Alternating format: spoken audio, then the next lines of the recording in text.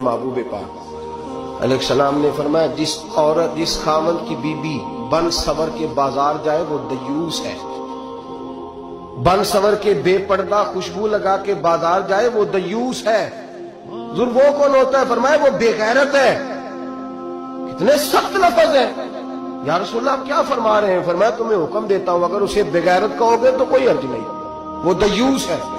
अगले लफज सुने हदीस पाक के, मेरे नबी करीम अलैहिस्सलाम ने फरमाया, अगर वो उस पर राज़ी भी है, अगर वो उस पर एक तो जा रही है, और अगर वो राज़ी है तो दयूस है। नबी पाक ने फरमाया, वो जितने कदम चलेगी, उतने ही अपने खामद के लिए जहन्नम में मकान तैयार कराएँगे। इसलिए कि उसका खामद राज़ी है कि तू बन सवर और बेपर्दा हो, और जहाँ मर्ज़ी जा, जहाँ से मर्ज़ी आ। फरमाया, वो अगर इस बात पे राज़ी भी है तो वो दयूस भी है।